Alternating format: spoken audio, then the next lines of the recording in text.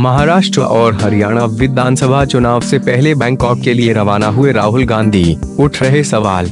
महाराष्ट्र और हरियाणा में 21 अक्टूबर को विधानसभा चुनाव है। लेकिन इससे पहले पूर्व कांग्रेस अध्यक्ष राहुल गांधी शनिवार को बैंकॉक के लिए रवाना हो गए। मीडिया रिपोर्टों के अनुसार शनिवार को विस्तारा की फ़्लाइट से बैंकॉक के लिए रवाना हुए।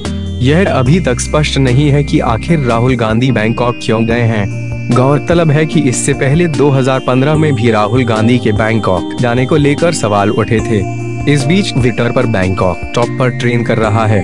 महाराष्ट्र और हरियाणा चुनाव में कांग्रेस ने राहुल गांधी को अपने स्टार प्रचारकों की सूची में भी शामिल किया है। भाजपा आईटी सेल के हेड अमित मालवीय ने ट्वीट किया कि क्या आप भी हैरान हैं कि बैंकॉक क्यों ट्रेड कर रहा है।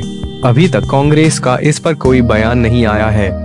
बता दें कि महाराष्ट्र में वरिष्ठ कांग्रेस नेता संजय निरुपम ने पार्टी में लोकतंत्र की कमी होने का आरोप लगाकर कांग्रेस के लिए प्रचार न करने का ऐलान किया है।